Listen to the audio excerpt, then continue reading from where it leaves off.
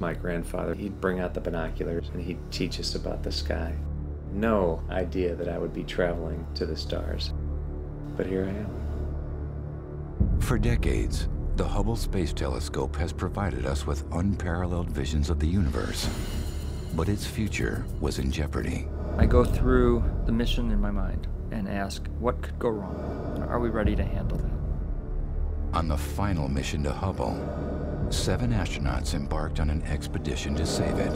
T-minus 10, 9, 8, 7. And an IMAX 3D camera was on board to capture it.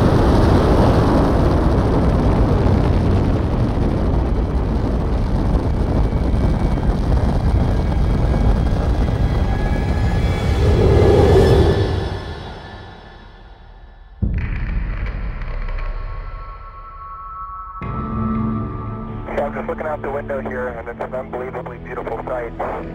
Traveling around the planet at 17,500 miles per hour, the astronauts of the Space Shuttle Atlantis have only one chance to secure Hubble's future. If there's some risk that goes along with achieving a dream, I think it's worth it. If they fail, we lose our window into galaxies so distant, their light has taken billions of years to reach us. The Hubble Space Telescope allows us to go to places so far away that it's inconceivable that humans will ever go there.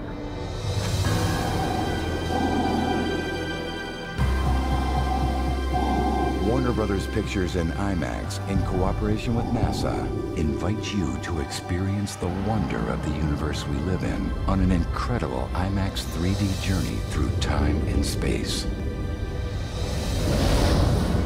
Hubble shows us the size of the universe and the beauty that it holds.